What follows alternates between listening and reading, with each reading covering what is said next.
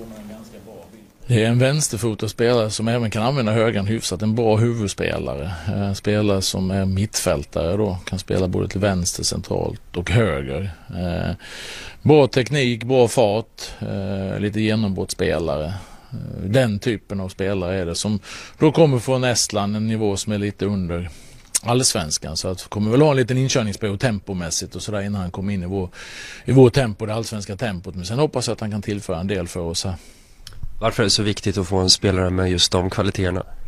Alltså det, det vi har sagt hela tiden att vi let, vi, när, vi, när vi tittar så har vi tittat på den här typen av spelare eh, för att jag tycker vi hade lite mindre av det i vår trupp tidigare. Så nu, nu får vi in ytterligare en utöver Raves Larman. Raves Larman är ju mer en spelare som har spelat på en högre nivå eh, än vad Simon har gjort och är mer direkt färdig för att gå in och spela allsvenskan. Medan Simon är en liten tillväxtspelare som här under året kan komma in efterhand och konkurrera på ett bra sätt och ha som sagt avgörande egenskaper som är intressanta.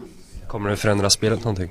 Nej, det gör vi i grunden så har vi ju vårt sätt att spela. Däremot får man in, ofta är ju sättet hur man spelar avgörs av, av spelarnas egenskaper på planen. Så det är klart det beror på vilka egenskaper eller vilka spelare som spelar. Men det vi har sagt är ju att den här typen av spelare eh, hade vi lite lite av och nu har vi fyllt på och sen så får ju konkurrenssituationen avgöra vilka som kommer att spela när det väl är dags. Och sen är det en lång säsong där vi kommer behöva många spelare på vägen men de här egenskaperna känns intressanta och spännande för oss.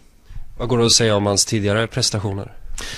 Han har spelat i Estland eh, hela sitt liv och spelat i Flora Tallinn de senaste åren. Vunnit några mästerskap. Har spelat lite internationellt med Flora Tallinn då i Europa League och eh, har eh, även gjort ett antal landskamper och hela vägen upp U17, 19, 21 och A-landslaget. Så att en spelare som ändå har lite erfarenhet av internationellt spel då även om han i vardagen i, i ligaspel då inte har varit på den här nivån innan. Så, så därför är jag lite försiktig med att hissa honom för högt från början. Men jag hoppas att det kan bli ett utropstecken efterhand.